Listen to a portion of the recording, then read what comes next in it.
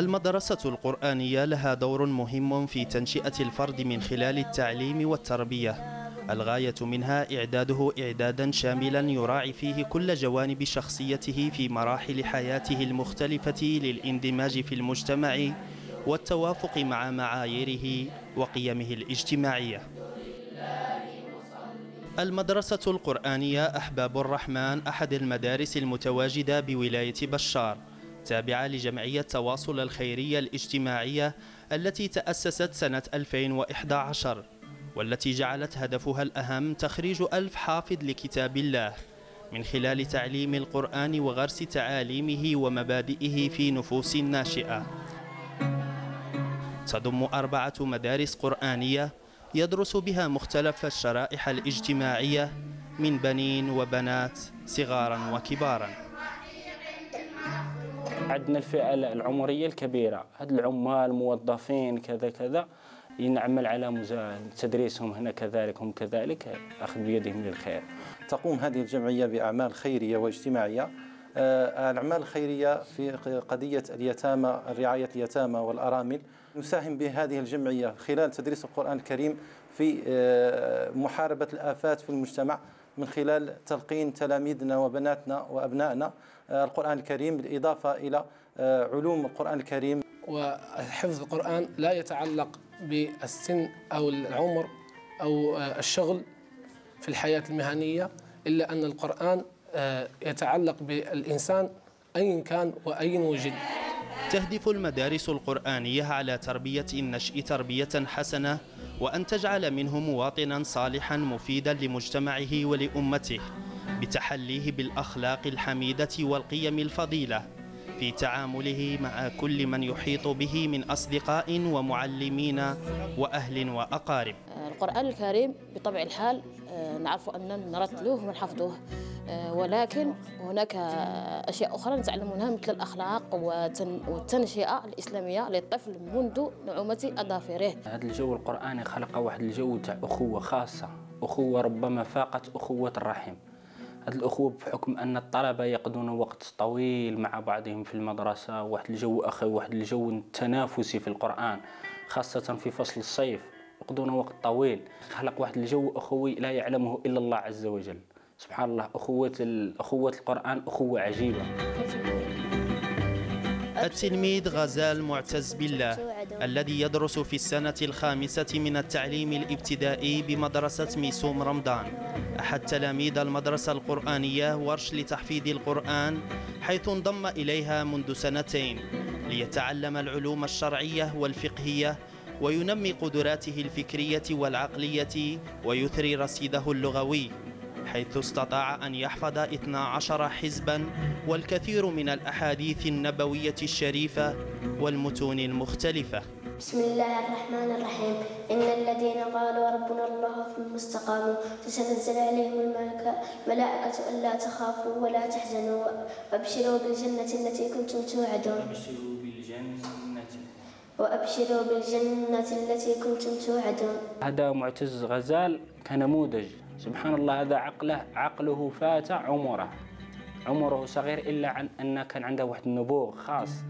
منذ منذ أيام الوهلة الأولى كان يسعى لكي ينافس ليس أقرانه ينافس منهم أكبر منه. ينافسهم في القرآن ويقول كذا ويجتهد ويجتهد. سبحان الله كان فيه واحد الجد وواحد الاجتهاد لا يعلمه إلا الله عز وجل. الحمد لله تعلم نقولوا الحمد لله آه، فصاحة اللسان آه، كيفاش حتى في العقلية تغيرت مع مع الخوت نتاعه آه، مع الوالدين نتاعه. كان وين أنا كان ينصحني يقول لي يا بابا باش على الفجر ينوضني. أنا الحمد لله عاونته تلا دركا هو يعاونني. وبالمدرسة القرآنية أبي بن كعب التابعة لجمعية تواصل الخيرية يتابع التلميذ مقدم حبيب الرحمن البالغ من العمر 14 سنة دروس حفظ القرآن الكريم وتجويده حيث يحفظ 36 حزبا من القرآن الكريم إلى جانب حفظه لمتن تحفة الأطفال والغلمان. بسم الله الرحمن الرحيم والضحى والليل إذا سجى. ما ودعك ربك وما قلى. وللآخرة خير لك من الأولى. ولسوف يعطيك ربك فترضى. ساعدني حفظ القرآن في التف... في... على التفوق في الدراسة. أتمنى أن أكون داعية لإعلاء كلمة الله وأعلم القرآن. لقوله رسول الله صلى الله عليه وسلم خيركم من تعلم القرآن وعلمه وأرجو من, وأرجو من الله أن أكون شفيعا لوالدي وأن يرحم والدي وأن يرحم والدي ويشفي والدتي وأن يلبسهما وأن ألبسهما تاج الوقار يوم القيامة. تميز عن بقية الطلبة بالتفوق والصدارة وكان له زعما آه، الأثر الأثر طيب لهذه المدرسة. مهما مهما صغاره ولكنه كان بجدارة كان رجل. ووفقه الله لما يحب ويرضى. العائلة تلعب دور كبيرا في تطوير مستوى حبيب الرحمن في آه، الدراسة والحفظ بخلق جو ملائم للمراجعة والحفظ. وبمتوسطة بوعنين العماري يزاول تعليمه باجتهاد وتفوق يتحصل غالبا على المراتب الأولى في مدرسته ما جعله محمودا بين أقرانه وأهله ومعلميه في المدرستين القرآنية والتربوية. كما أنصح الأولياء بحث أولادهم آه، لحضور جلسات الذكر وليكونوا شفعاء لهم يوم القيامة. يعمل معلم القرآن على تبسيط وتسهيل عملية الحفظ للطلبة وتطوير مهاراتهم في القراءة والكتابة والتجويد والفصاحة اللغوية كما يعمل على شرح وتفسير معاني سور وآيات القرآن الكريم والأحاديث النبوية الشريفة. نعتبر خداما لكتاب الله عز وجل. وذلك شرف لنا أن نكون خداما لكتاب الله عز وجل. ندرس القرآن بالإضافة إلى تدريس بعض المتون كمتون متن في النحو الأجرمية والإضافة ضف إلى ذلك متن بن عاشر في الفقه ومتن متن الجزرية في أحكام التجويد. كانت لنا انطلاقة في تدريس القرآن من آه، عام 2010 2011 آه، كانت انطلاقة إن شاء الله مباركة وكانوا تخرجوا منها من المدارس القرآنية التابعة للجمعية تخرجوا خاتمين لكتاب الله.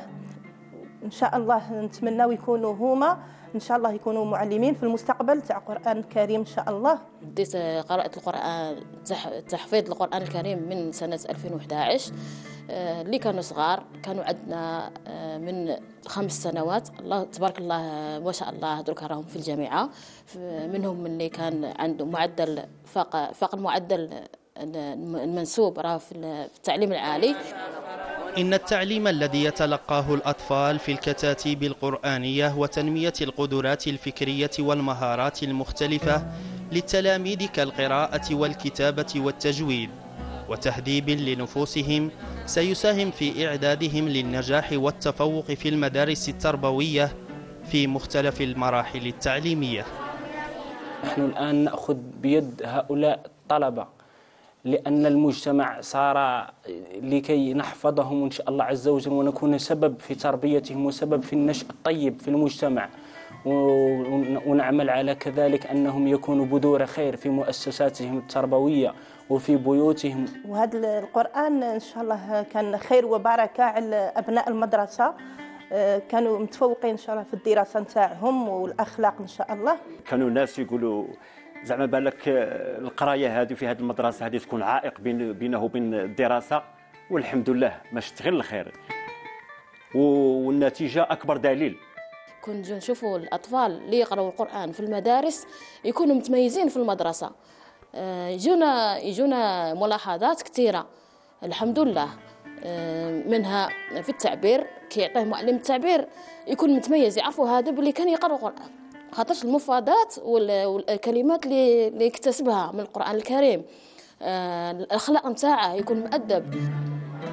لقد وجد الأهل في دخول أبنائهم المدارس القرآنية فوائد جمة. بعدما رأوا أنهم يتقدمون الصفوف في المساجد لإمامة المصلين وهذا في نظرهم شرف لا يضاهيه شرف.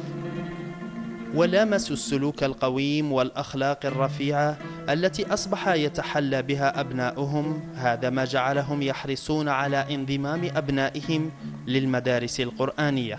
تعليم القرآن خاصة يكون فيه الأولياء يشجعونا يشجعونا باش الأطفال نتاعهم إن شاء الله نتهلاو فيهم يشجعونا معنويا إيه، يتهلون إيه، يوقفوا معنا باش الأطفال نتاعهم ينشئوا تنشئة مليحة. إن شاء الله بإذن الله أن المدارس القرآنية التابعة للجمعية تلقى دعم من طرف الخيرين ولتتقدم إلى الأمام ولنكون بصمة في المجتمع. آه، بالنسبة للأولياء رأوا أن ابنائهم تفوقوا وصاروا آه، صاروا يتقدمون للمحراب وصاروا لهم سمة طيبة في الشارع في الحي مثلا أخلاق عالية. وبفضل القرآن الكريم. إن الجهود الجبارة التي تقوم بها جمعية تواصل الخيرية والنشاط المتواصل الذي تبادر به من أجل إنجاح هدفها الأسمى والمتمثل في تخريج ألف حافظ لكتاب الله. سيكون له الأثر الإيجابي والفعال في خدمة الناشئة والمجتمع وذلك بإبعادهم عن الظواهر الاجتماعية السلبية وجذبهم لحلقات الذكر والتلاوة وتدارس القرآن وتفسيره وحفظه والعمل به.